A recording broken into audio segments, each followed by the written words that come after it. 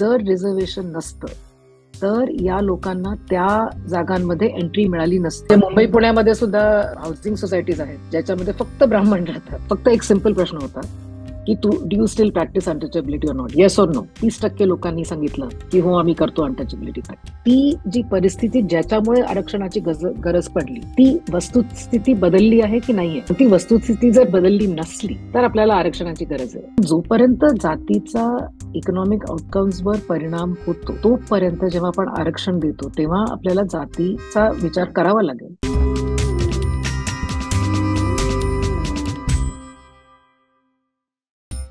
दशकवेद व महाराष्ट्रवेद या दोन गाजलेल्या सिरीजमधील अकरा मुलाखती आता वाचकांना पुस्तक रूपात उपलब्ध.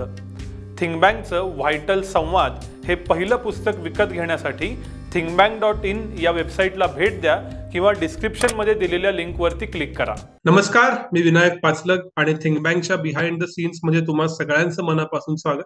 आज एक नवा विषय नवा दिवस नवी चर्चा. आज माझ्या बरोबर आहेत अर्थशास्त्राच्या प्राध्यापक doctor Ashwini Deshpande madam. Madam स्वागत आहे तुमचं.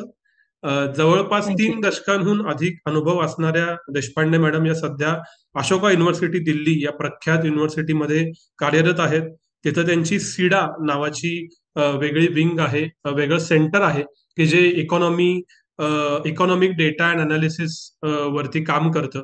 आणि एकूणातच कास्ट आणि जेंडर या दोन घटकांचा इकॉनॉमीवर आणि एकूणातच समाज जीवनावर होणारा परिणाम हा त्यांच्या अभ्यासाचा विषय त्यांच्या अभ्यासाच्या विषयाबद्दलच आपल्याला त्यांच्याशी गप्पा मारायच्यात पुन्हा एकदा स्वागत आहे मॅडम आणि मला तुम्हाला हेच विचारायचं आहे की नक्की तुम्ही जो अभ्यास करता जे सेंटर चालवता त्यातून जो रिसर्च समोर आलाय त्यातले की इन्साइट्स किंवा की हायलाइट्स काय आहेत असं म्हणतात पहिली गोष्ट अशी की मी अशोका युनिव्हर्सिटीमध्ये अर्थशास्त्राची प्रोफेसर आहे. हे माझं मुख्य काम आहे. सीडा हे मी तिथे सुरू केलं नंतर.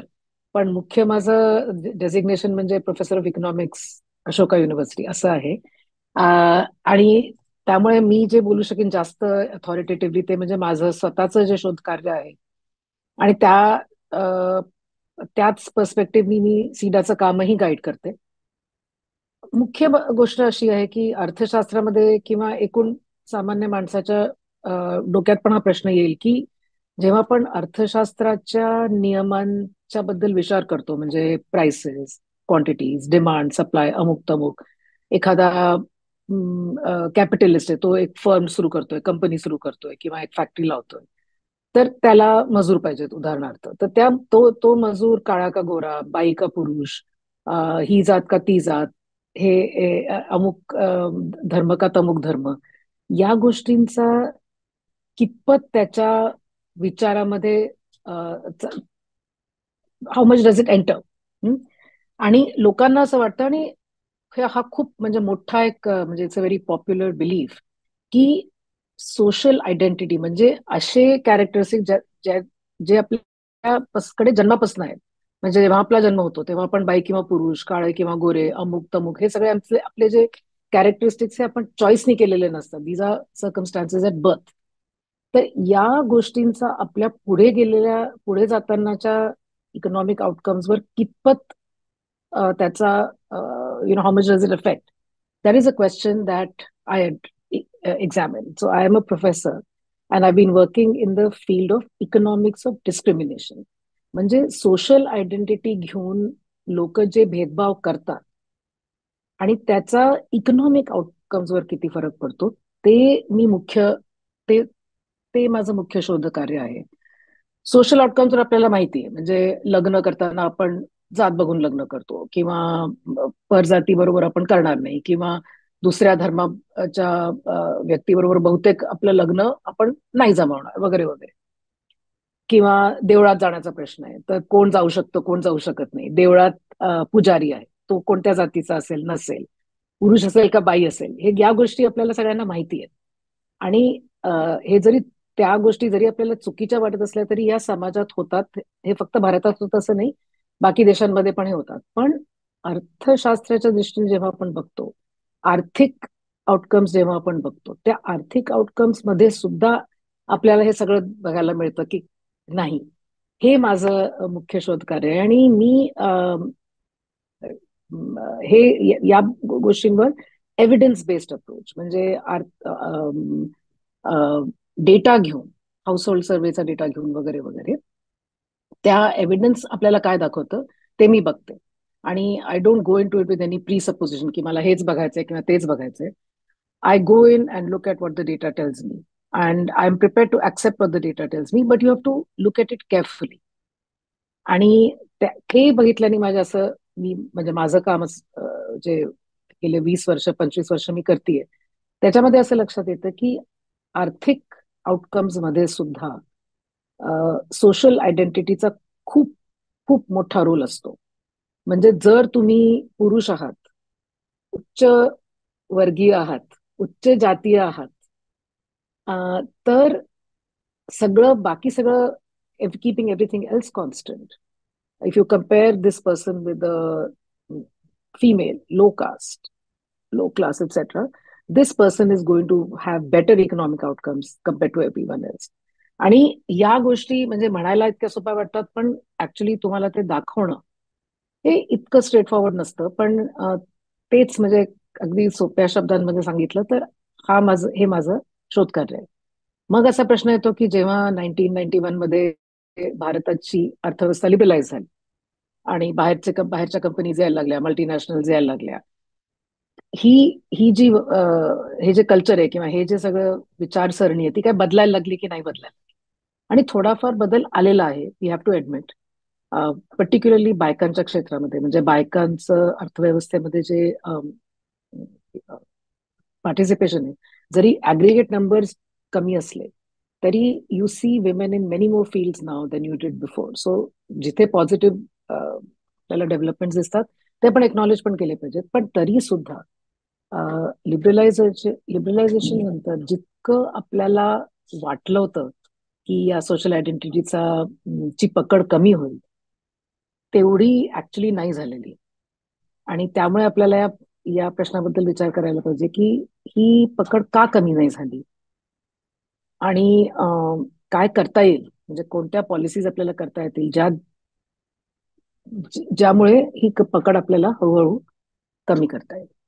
तुम्ही ज्यावेळी ग्लोबलायझेशनबद्दल बोलला त्यावेळी असा एक प्रश्न मनात आला की म्हणजे मी स्वतः मूळ आय टी मध्ये होतो त्यावेळेचा अनुभव आहे कदाचित पर्सनल असू शकतो की जेव्हा तुम्ही अशा आय टी किंवा नॉलेज बेस्ड इकॉनॉमीमध्ये जाता त्यावेळेला क्लास प्रिव्हेल्स कास्ट म्हणजे मग तुमच्या आजूबाजूला कुठल्या जातीचे लोक आहेत त्याच्यापेक्षा ते समान वागतात. त्यांच्या आवडीनिवडी समान असतात. त्यांच्या हँगआउट करायच्या जागा समान असतात. त्यांचे विचार समान असतात. तर हे जे ग्लोबलायझेशनमुळे मध्यम वर्ग म्हणा किंवा क्लासिक क्लास डॉमिनन्स वाढलाय का?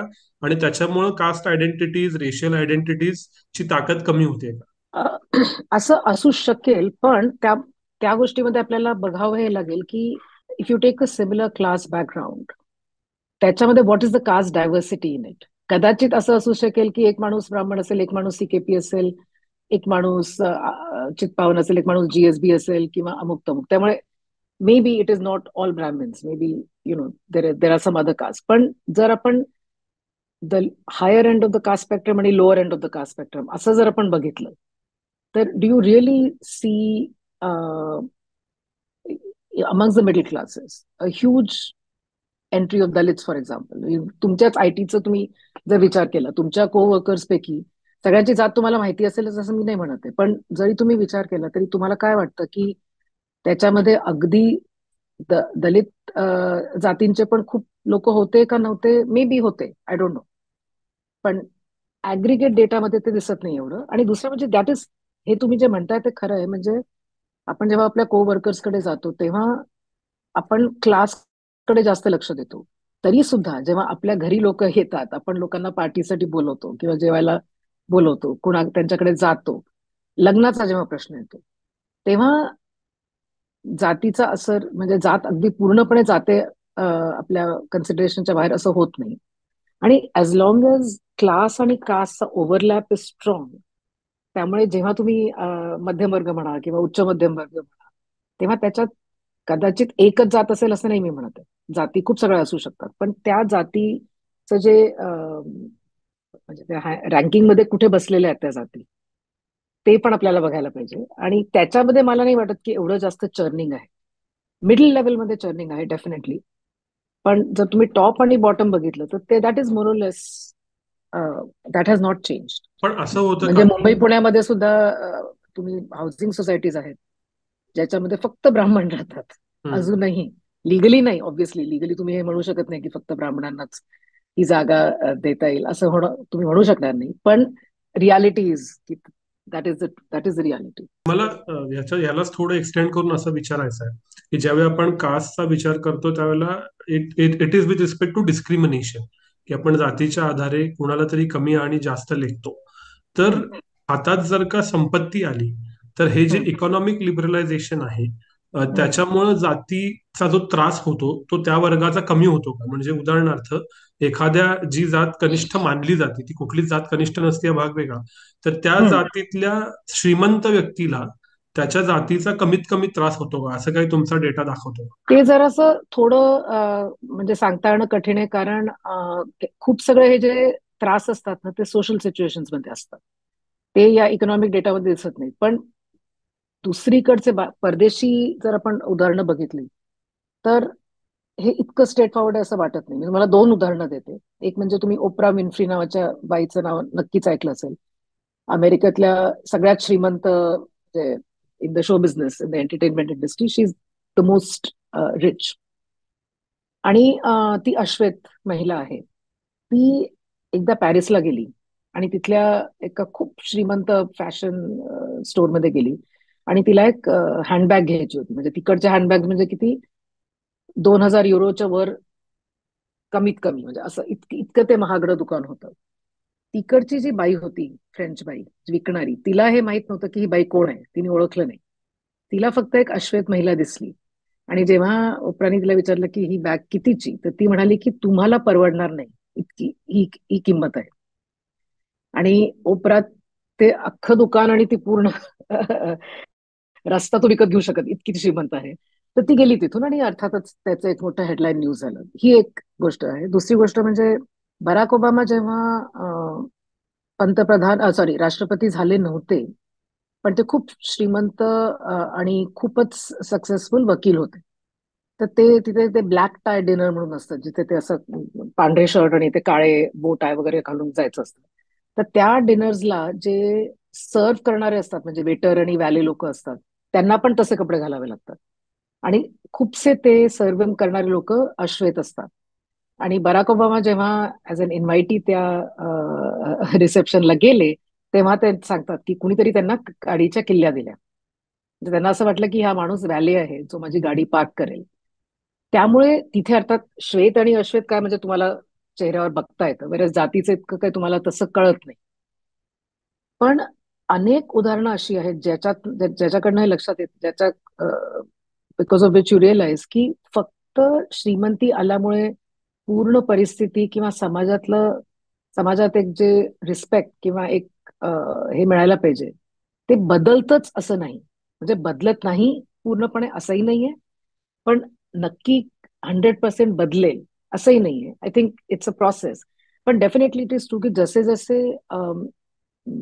मध्यम वर्गात किंवा उच्च मध्यम वर्गात कनिष्ठ म्हणजे caste that are regarded low त्यांचे प्रतिनिधी जसे जसे वाढत जातील तसे तसे the association of inferiority with certain caste that will start to break but it's a slow process त्यामुळे while that is going on we have to do many things one is we have to promote the entry of groups into positions that are elite positions, that are decision making positions. That's a very important thing. You have to first break the status quo. Along with that, we have to have a very clear anti discriminatory legal apparatus, which doesn't, uh, which recognizes instances of discrimination, which recognizes microaggressions, where it's not just atrocities against the that's one part of it. You kill somebody, you rape somebody. That's horrific. And obviously, that the law recognizes.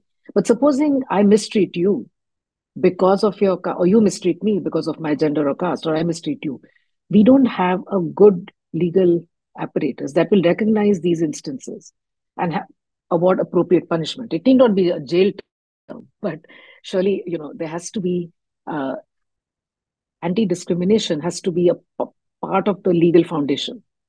त्यामुळे and uh, that's when eventually mindsets will start to change. But the first thing is we have to facilitate the entry of people uh, that are regarded, you know, discriminated against into positions that they would otherwise not have got entry into. त्यामुळे reservation policy किंवा affirmative action is a very important policy कारण जर reservation नसतं तर या लोकांना त्या जागांमध्ये एंट्री मिळाली नसती आता आल्यामुळे काय you're force to deal with it right people, upper caste people, are forced to have classmates or peers or colleagues or even bosses who are uh, who are you know belong to classes that they considered very marginal. But it's good, I think, because it shakes people up, you know. Uh, and it makes you realize that it's hum- we are all human beings and we have to deal with each other. तुम्ही आरक्षणाचा उल्लेख केला जात व्यवस्था ही भारतातली reality आहे हे तर आपण सगळेच मान्य करतो. आरक्षण दिल्यामुळं वेगवेगळ्या वेळेला आणि विशेषतः ज्या पद्धतीनं ग्लोबलायझेशन झालं त्याच पद्धतीनं मंडल आयोगही आला आरक्षणाच्या कक्षा वाढल्या वेगवेगळे घटक त्याच्यामध्ये सामावले गेले. तर आरक्षण हा फॅक्टर या सगळ्यामध्ये गेल्या पंच्याहत्तर वर्षात भारतात कसा प्ले आउट झाला असं वाटतं? हे बघा सुरुवातीला जेव्हा आरक्षणाची पॉलिसी आपण ही का आपण बाय द वे हे सगळ्यांना माहिती असेलच असं नाही त्यामुळे सांगते. की ही पॉलिसी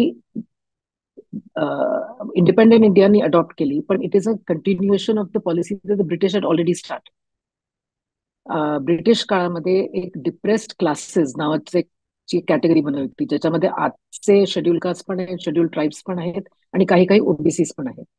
एक general category call depress classes अशी बनवली होती. आणि डिप्रेस क्लासेससाठी आरक्षण. हे ब्रिटिश ऍडमिनिस्ट्रेट टेरिटरीजमध्ये पण काही जगा ठिकाणी दिलं गेलं. आणि काही प्रिन्सली स्टेट्स जे ज्याचे महाराजे खूप प्रोग्रेसिव्ह होते म्हणजे उदाहरणार्थ बडोदा किंवा ट्रॅव्हनकोर कोल्हापूर ह्याचे जे प्रिन्सली स्टेट्स होते ते they were very progressive states आणि untouchability they regarded as that as a blot on on humanity आणि त्यामुळे अनटचेबल्सना टेम्पल एंट्री किंवा अनटचेबल्ससाठी कॉलेज सीट्स अनटचेबलसाठी आरक्षण जॉब्समध्ये these were the policies that they adopted कारण until then entry of untouchables even in to schools was not considered कारण they were not seen as entitled to education right त्यामुळे ही policy जेव्हा आपण Wien we achieve independence तेव्हा आंबेडकर बी R Ambedkar जे आपले पहिले लॉ मिनिस्टर आणि द म्हणजे chairman of the drafting committee of the constitution he took the policy and enshrined it as a fund as a guiding principle of the constitution कारण त्यांचं असं मत होतं की जर if we leave it to a change of heart and if we leave it to individual initiative, it will not happen. Current casteism and the antipathy to untouchables is a very important part, integral part. Untouchability is an integral part of the caste system.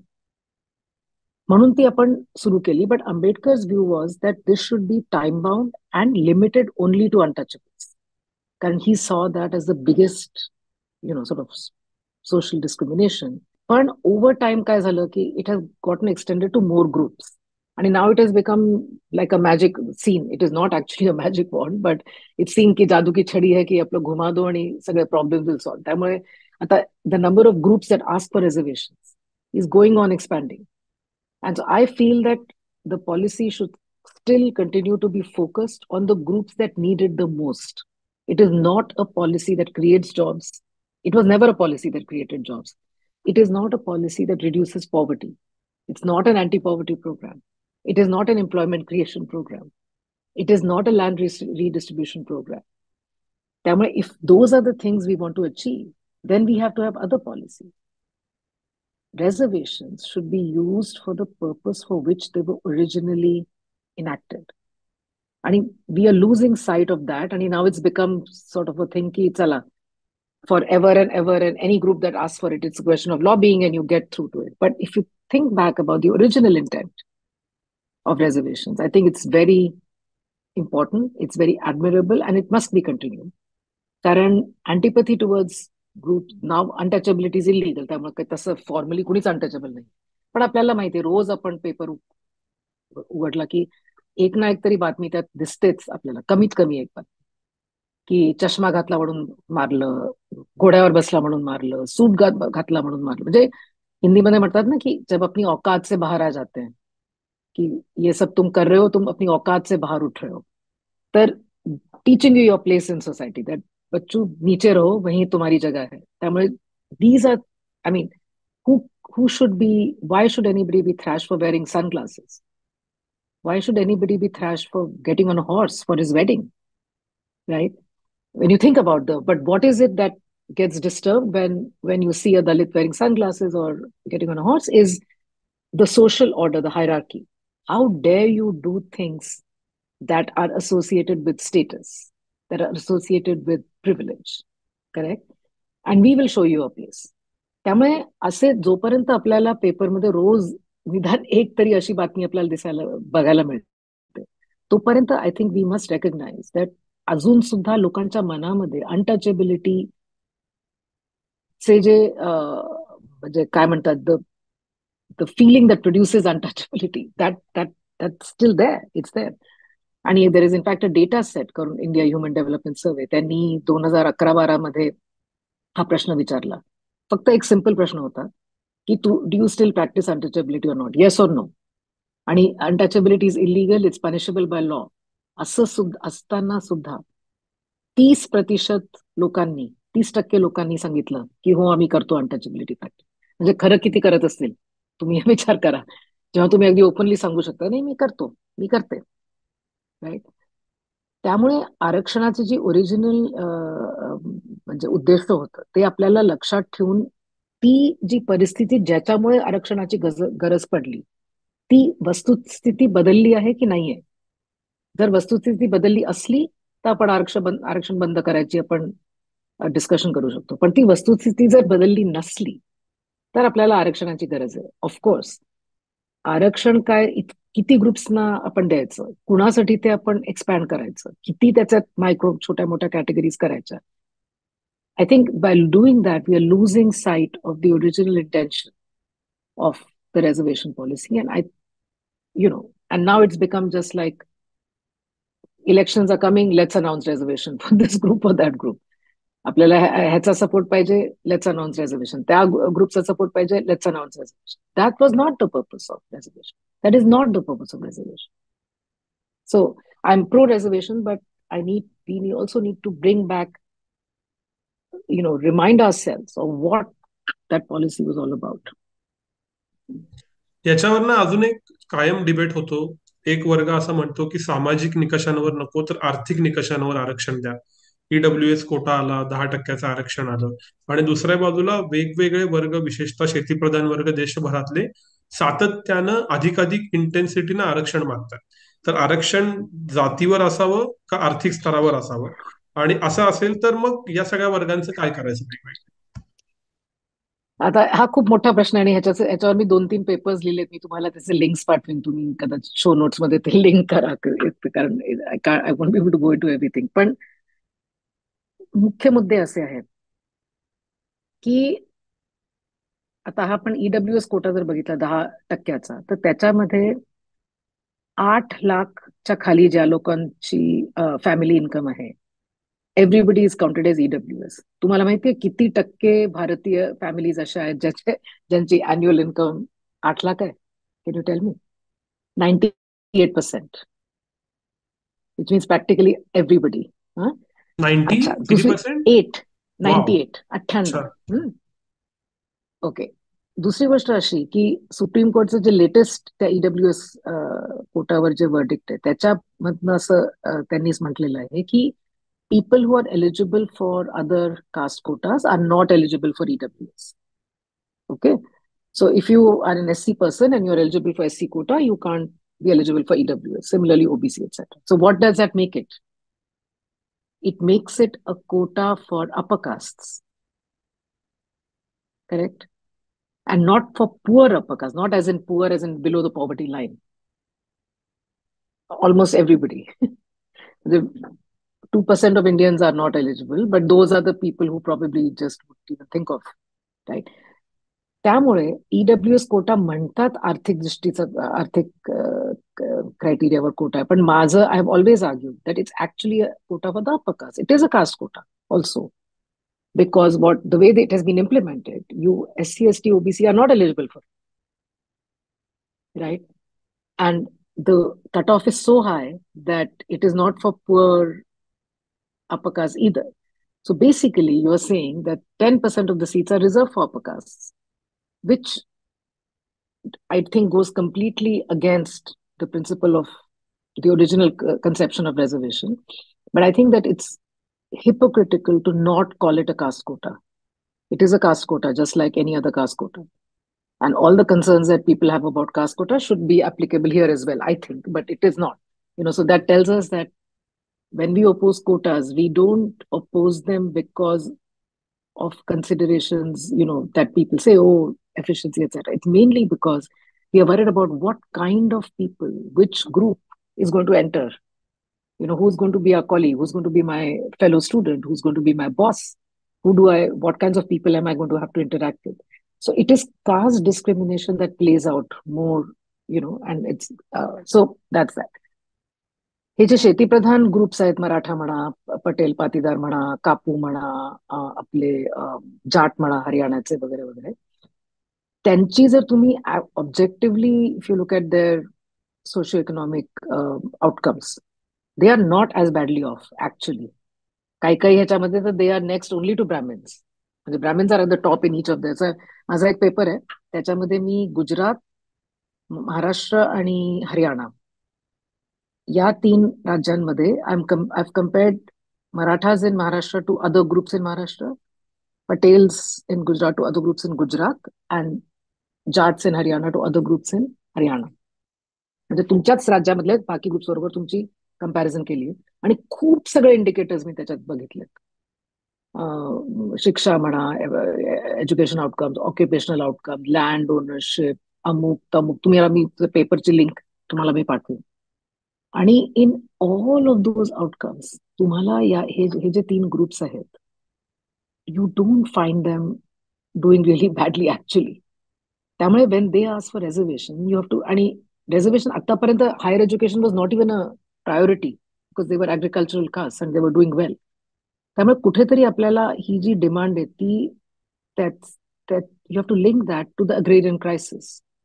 Why is it today that agrarian groups are demanding reservation? It's because they fear that their future as agricultural castes, their prosperity as, as agricultural class is not guaranteed any longer. So, you know, upon farm laws, एका ह्याच्यात बघतो आणि reservation दुसऱ्या you know we put them in categories but actually the anxiety of farmers in this country, I think one aspect of that is getting reflected in the demand for reservations. More about anxiety as as you know your your anxiety about economic prosperity as farmers, which will say, okay, fine, let let our kids get a government job at least, you know. So म्हणून मग ते रेझर्वेशनची demand and these are powerful groups you know they are powerful politically they are economically powerful and these demands keep coming up but we again we have to be objective about you know the assessment पण या सगळ्या आरक्षणाचं जर मूळ असायला हवं जाती असू दे टीडब्ल्यू असू दे तो आर्थिक असावा का सामाजिक आणि जातीनिहाय असावा? कारण आता आर्थिक आणि जात यांचं कोरिलेशन तितकं स्ट्रॉंग पूर्वी करेक्ट हा तुम्ही तो प्रश्न विचारला होता. मी ते सांगतो दुसरंच बोलायला लागले. माझं मत आहे जात म्हणजे माझं मत असं आहे की ज्या डिमेन्शनवर discrimination is the strongest that should be the access आणि आर्थिकचं काय आहे माहितीये आर्थिक situation changes even during the course of a life time म्हणजे एक एका आपण तुम्ही एका बाळाचा जन्म आणि ते बाळ मोठं होऊन म्हातारं होतं you think about the whole life course that person's economic situation can change you know it can improve it can worsen it can go through ups and downs economic situation of the child may be different from the father, grandfather. There can be upward mobility, there can be downward mobility. But if you think of an untouchable person who's legally not untouchable but faces the stigma of untouchability, that doesn't change through the life course. Right? And that is something over which the person has no control. You just got born into a caste that was regarded untouchable. त्यामुळे if it is if it is to if the purpose of reservation is to any is to counter discrimination because of social identity or social disabilities, then it has to be the category that produces that social disability. It could be caste in India, it could be race in the United States, it could be religion in France, whatever that is. But the purpose of reservation is to allow entry to people who into into decision making or elite positions who otherwise would not have got that entry so what is the what is the identity that is preventing them from getting that entry correct आणि भारतात ती identity अजून सुद्धा unfortunately जाती आहे we wish that it was not the case I certainly wish that it was not the case पण म्हणूनच मी म्हणते की या सगळ्या गोष्टींवर जेव्हा आपण डिस्कशन करतो तेव्हा आपण एव्हिडन्स बघितला पाहिजे आपण डेटा बघितला पाहिजे. आणि जर आपल्याला डेटामध्ये असं बघायला मिळतं की आता जातीचा तसा काही विशेष इकॉनॉमिक आउटकम्सवर काही परिणाम नाही आणि may be they will they will be a time when this will happen then we don't need caste based resolution पण जोपर्यंत जातीचा इकॉनॉमिक आउटकम्सवर परिणाम होतो तोपर्यंत जेव्हा आपण आरक्षण देतो तेव्हा आपल्याला जातीचा विचार करावा लागेल. आर्थिक दृष्ट्यांनी जे लोक म्हणजे जे गरीब आहेत त्यांचे there are lots of you know anti poverty programmes म्हणजे आर्थिक लोकां आर्थिक दृष्टीने जे लोक गरीब आहेत त्यांना मदत मिळू नये असं मी अजिबात म्हणत नाहीये. पण मी एवढंच म्हणते की अँटी पॉवर्टी प्रोग्राम्स हे सरकारनी किंवा जनरली म्हणजे as a part of our policy framework we have to have and we have to analyse why people are poor what is it that pulls them out of poverty what is it that pushes them in to poverty तुम्हाला एक उदाहरण सांगते एक political scientist आहेत अनिरुद्ध कृष्ण म्हणून अमेरिकेमध्ये राहतात. त्यांचं एक पुस्तक आहे वन इलनेस अवे त्यांचं असं म्हणणं आहे की it just takes one serious illness in India to push a family that was not below the poverty line into the the below the line. कारण ते हेल्थकेअरचे जे द कॉस्ट डॉक्टरांचा खर्च नर्सचा खर्च जाणं येणं अमुक तमुक हे इतकं जास्त आहे आणि इन्शुरन्स नाहीये काही नाहीये. त्यामुळे it just takes one major illness आणि you get pushed in to poverty काही काही लोक get pushed in to poverty because the daughter has to get married or the child has to get married त्यामुळे गरिबी कोणत्याही अर्थव्यवस्थेमध्ये लोक गरीब का असतात ह्याची कारणं असतात. आणि ती मूळ कारणं आपल्याला टाकली केली पाहिजे. पण once somebody is pulled out of poverty आणि पॉवर्टीचं दुसरं असं आहे की people keep going in and out of poverty it is not as though एकदा तुम्ही काहीतरी त्यांना इन्कम सपोर्ट दिला आणि ते लोक आता they are not below the poverty line तर for ever and ever they will stay that way no people fall in to poverty and fall out of you know come out of poverty त्यामुळे that is a very very important concern particularly in a country like India the proportion of poor people is high although it is decreasing तरी सुद्धा a very large number of people are poor. आणि how to ameliorate ameliorate त्या condition त्यांना आपण गरिबी म्हणजे how do pull them up above the poverty line how do give you know a decent quality of life to any member or any household is poor that has to be the focus of policy. But reservation is not that policy. Reservation is not that. Reservation is not an anti-poverty program. Reservation is a policy that desegregates the elite, which means it makes the elite more representative of the social composition of a particular country. And if the social composition is different castes, different tribes, men, women, etc., those are the faces that you want to see, you know, in your decision making positions. And reservation enables that. Again, it's not enough. It's not the only policy but it's definitely one of the important policies that will enable that outcome. त्यामुळे um, on when we when it comes to affirmative action or reservation, it has to be group based, not not class based. The group can be we can discuss which group it is. It has to be you know social identity or group based. पण हा जो मुद्दा आहे की anti poverty programme किंवा एकूणातच सगळे आर्थिक सहाय्यता प्रोग्राम हे इकॉनॉमिक स्टार्टावर असतात. मग ते काय रेशन कार्ड वरती असेल पांढरं भगवं पण आरक्षण मात्र जाती आधारावर असतं. तर हे एकमेकांना कॉम्प्लिमेंटरी आहे का एकमेकांना मारत? कॉम्प्लिमेंटरी कारण तुम्हाला जेव्हा तुम्ही एखादा गरीब व्यक्ती आहे किंवा गरीब परिवार आहे त्याला राशन रेशन पाहिजे. त्याला हॉस्पिटलमध्ये त्याला खर्च करता येत नाही. त्यामुळे त्याला हेल्थ केअर पाहिजे. त्याच्या त्यांच्या मुलांना शाळेत जाता येईल आलं पाहिजे. त्यांना बसचा खर्च जर परवडत नसेल तर बस पाहिजे. शाळेचा युनिफॉर्म जर परवडत नसेल तर युनिफॉर्म पाहिजे. वगैरे वगैरे. म्हणजे तुम्ही घर पाहिजे. राईट म्हणजे तुम्ही अनेक गोष्टी तुम्ही हे करू शकता. आणि त्याच्यामध्ये कोणती कुणा तुमची जात कोणती असली तरी तुम्हाला या सगळ्या गोष्टी पाहिजेतच डेफिनेटली आणि त्या मिळाल्याच पाहिजे सगळ्या every Indian is has a right to that every Indian has a right to education to health to food to employment even right even if you think of the employment guarantee NREGA जर तुम्ही विचार केला that is not a caste based programme it's a universal programme त्यामुळे anyone who needs who is not getting a job in rural India who needs some work as substance, subsistence, and Rega is there. So these are all the programs that are universal and must remain universal. What is a purpose of reservation? शाळेत reservation नाही आहे शाळेतलं जे आहे ते तर E W S actually after the right to education college level आणि त्याच्या पुढच्या नोकऱ्यांसाठी जे रिझर्वेशन आहे that is a only sector ज्याच्यामध्ये ही आरक्षण पॉलिसी आहे. आणि ते सुद्धा फक्त सरकारी. आणि आता सरकारी नोकऱ्या कमी कमी होत चालल्यात आणि प्रायव्हेट नोकऱ्या वाढत चालल्यात. त्यामुळे एनिवे आपण इतका आपण डिस्कस करतो आपण रिझर्वेशन पण actually the scope of reservation is very small it affects a very tiny part of हे तिथे काय आहे की is it that's what am saying that that's way you to look at the data when you look at the discrimination in these sector is it happening because people are poor or is it happening because of identity And that's where my, for example, the work that I've done, that comes in. And that's an empirical question.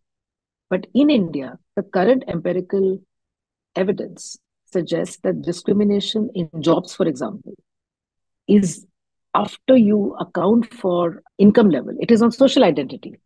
It could be male, female, it could be caste, it could be tribe, all of these things. Tamoy, uh, as long as you have discrimination on the basis of social identity, you need reservation on the basis of social identity मला महिलांकडे यायचं आहे पण त्याच्या आधी आरक्षणाबद्दल दोन प्रश्न उपस्थित केले जातात आणि दोन वेगवेगळ्या जात समूहाकडून केले जातात. एक वरिष्ठ जात समूह असं म्हणतो की आमच्यातल्या मेरिटियस स्टुडंट्सना आमच्यातल्या मेरिटियस कॅन्डिडेटना मेरिट असूनही संधी मिळत नाही. म्हणून मग आम्ही मायग्रेट करतो वगैरे वगैरे वगैरे.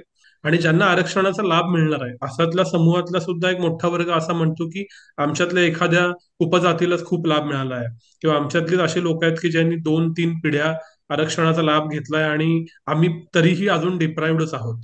तर आरक्षणाबाबतीत आरक्षण मिळून सुद्धा एक मोठा वर्ग असमाधानी राहतो आणि आरक्षण न मिळालेला एक वर्ग असमाधानी राहतो. तर हे नक्की काय लॉजिक हे बघा इंडिव्हिज्युअल जेव्हा ग्रीवान्सेस असतात की मला एका कॉलेजमध्ये मी इंजिनिअरिंगसाठी परीक्षा दिली मला ऍडमिशन नाही मिळाली. मेडिकलमध्ये मला ऍडमिशन नाही मिळाली. राईट तुम्ही आता बघा जर उदाहरणार्थ शंभर सीट्स आहेत एका कॉलेजमध्ये आणि एक हजार लोक त्याच्यासाठी त्याची परीक्षा देतात किंवा एक हजार लोकांनी परीक्षा ती पास केली. तर त्या कॉलेजला जर शंभर सीट्स असल्या तरी आरक्षण जरी नसलं तरी किती लोकांना त्यात ऍडमिशन मिळणार नाही? नऊशे लोकांना मिळणारच नाही ऍडमिशन जरी आरक्षण नसलं तरी राईट आता त्या शंभर सीटामध्ये तुम्ही बावीस सीट तुम्ही आरक्षण तुम्ही इंट्रोड्यूस केलं राईट आता किती लोकांना ऍडमिशन मिळणार नाही? नऊशे आधी ज्यांना मिळत नव्हतं प्लस बावीस लोक एक्स्ट्रा ज्यांना आधी मिळालं असतं आरक्षण जर नसतं तर. पण आता बावीस सीट्स रिझर्व केल्यामुळे त्या बावीस लोकांना ऍडमिशन मिळणार नाही. पण जेव्हा तुम्ही आरक्षण विरोधी मोर्चे किंवा हे सगळं बघतात. तेव्हा हे सगळे नऊशे बावीस लोक प्रत्येक नऊशे बावीसला असं वाटतं की मला त्या आरक्षणामुळे नाही मिळालं. त्यामुळे एक तर the number of people who are displaced because of reservation some people are displaced definitely right the number of people who are displaced are always over estimated म्हणजे प्रत्येक माणसाला असं वाटतं की अरे मला मिळालं असतं. पण जेव्हा तुम्ही सिलेक्शन बघता आय आय टी बघा मेडिकल बघा किंवा युनिव्हर्सिटीमध्ये ऍडमिशन बघा. तेव्हा दहा पैकी एका माणसाला मॅक्सिमम किंवा वीस पैकी एकाला किंवा पंचवीस पैकी एकाला the number of seats is far lower than the number of applicants आणि तुम्ही कोणतेही आकडे बघू शकता. आय आय टीचे बघा. चार चार लाख लोक अप्लाय करतात किती सीटसाठी दोनशे. त्यामुळे the rejection rate is very very high आणि ऑफकोर्स इट इज ट्रू की काही लोकांना काही उच्चवर्गीय लोकांना ते मिळालं ती सीट मिळाली असती जर आरक्षण हॅड बीन झिरो पण that they would still be a very large number of upper caste applicant who would not get in because there are in seats correct त्यामुळे त्या बावीस सीट्समुळे हे सगळे नऊशे लोक ज्यांना एरवी सुद्धा मिळालं नसतं ते अनहॅपी आहेत. Right that's one part of the story मी अगदी सिंपल शब्दात सांगते पण that is you can you know you can apply this दुसरी गोष्ट म्हणजे अमुक जातीला मिळालं तमुकला मिळालं नाही इतके जनरेशन इतके generation the one of the problems जे my problem with reservation policy is that the government doesn't do any review त्यामुळे किती लोकांना मिळालं काय त्यांची आर्थिक परिस्थिती आहे when what features of the reservation policy should be continued, which features should be phased out. There has to be, for such an important policy, there should be a continuous review and and it must contain some self liquidating features for example मी तुम्हाला सांगते. खूप सगळ्या परीक्षांमध्ये जेव्हा तुम्ही अर्ज भरता तेव्हा तुम्हाला ते फॉर्मसाठी तुम्हाला फी भरावी लागते. किंवा काहीतरी ऍडमिशन फी द्या म्हणजे ऍडमिशन नाही एंट्रन्स एक्झामसाठी फी द्यावी लागते. किंवा तुम्हाला युनिफॉर्म किंवा पुस्तकं किंवा लॅब इक्विपमेंटसाठी पैसे द्यावे लागतात. पण जर तुमचे आई वडील क्लास वन ऑफिसर्स आहेत सरकारी तर ते तुम्ही देऊ शकता परवड परवडू शकतो तुम्हाला. पण अजूनही for S C S T student it is free तर माझं असं म्हणणं आहे की या गोष्टी these are small things to change आणि आर्थिक जो लाभ आहे तो तुम्ही जेन्युनली त्याला आर्थिक लाभाची गरज आहे त्याला तुम्ही देऊ शकता. पण on reservation how much has have things change me data हा गोळा करायचा प्रयत्न केलेला आणि त्याच्यामध्ये माझं असं लक्षात येतं की इतकं जास्त नाही बदललं in terms of composition right? त्यामुळे आपल्याला जर असं बघायला यु नो आणि दुसरी गोष्ट अशी की that is why the census is so important. What is the proportion of the population that is belongs to particular caste? What is the proportion of OBC supposing एका देशामध्ये तुम्ही हे बघा साऊथ आफ्रिका बघा तिथे the black population is the majority. That is the reality. That is the actual reality. आणि if the population मध्ये जर ब्लॅक लोकांची मेजॉरिटी असली आणि इन्स्टिट्यूशन मध्ये सुद्धा ब्लॅक लोकांची जर मेजॉरिटी असली तर त्यात काय चूक आहे where as a group that is a minority which is whites in South Africa if they are the majority in a higher institution then there's something wrong, no? because the underlying population distribution is not getting reflected in the institution. त्यामुळे which group should have greater representation is a function of which group it should be proportional to the population जर पन्नास टक्के पुरुष आणि पन्नास टक्के बायका आहेत इन युअर पॉप्युलेशन तर in an institution it would be fine to have fifty fifty पण तिथे जर ऐंशी टक्के पुरुष आणि वीस टक्के बायका असल्या त्याचं प्रॉब्लेम राईट का? कारण पॉप्युलेशनमध्ये पन्नास टक्के बायका आहेत. When it comes to caste we don't know what that proportion should be because we don't have done the census right that's why you need to have information आणि एनएसएस वगैरे सर्वेजमधनं तुम्हाला थोडीफार इन्फॉर्मेशन मिळते. And when you put that together, then SC, ST, OBC come to about more than 60% of the population, close to 70%. And asks that he's, if, if this is true, then if you find in an institution that 70% are SC, ST, OBC, is that wrong? Because that is your population distribution. But you need to know the population distribution to see whether the outcomes in an education institution are are right or not. Right? So when you go back to the British Times, when you look at the British uh, documents on um, reservation, they find that you know Brahmins are about three to four percent, mm. and seventy to ninety percent representation in government jobs. So is that merit or is that caste privilege? What is it? You have to think about all these things. It's a straightforward question. It's a question of okay, what is our what is the hmm. population composition and what should be the institutional composition?